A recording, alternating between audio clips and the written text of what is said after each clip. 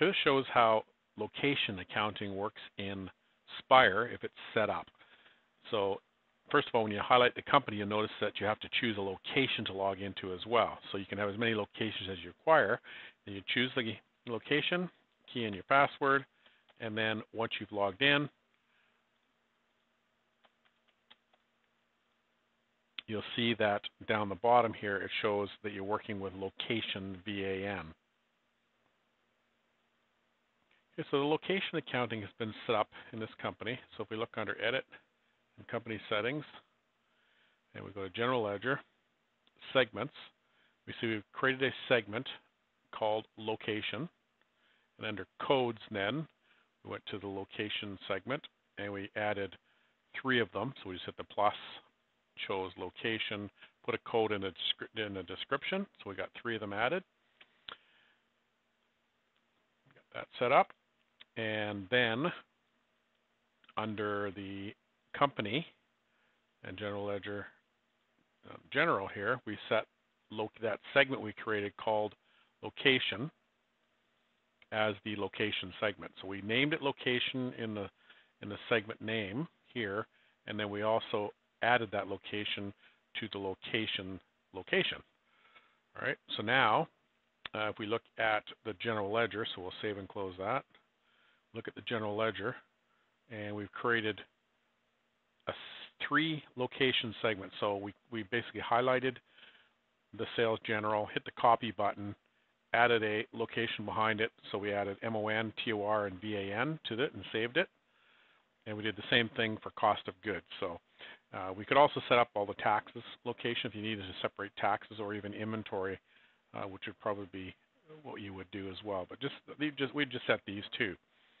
So now this is sales general. So now if we look at edit company settings again and we look at sales departments,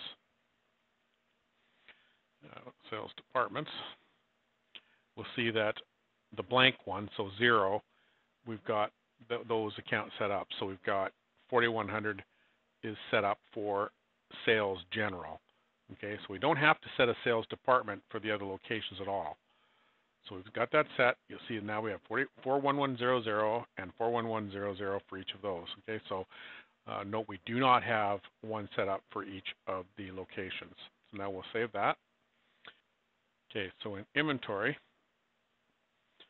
got a one item set up with the right department. So this 521 here, it is set up indeed for department uh, zero. So with the 41100. Okay, so now we go to sell it and we'll go new. Okay, so I'll put a customer on here and we'll put that that Precor on here, P-R-E-E, and it was the 521. And we'll ship it. And we'll just take our freight off of here, automatic freight.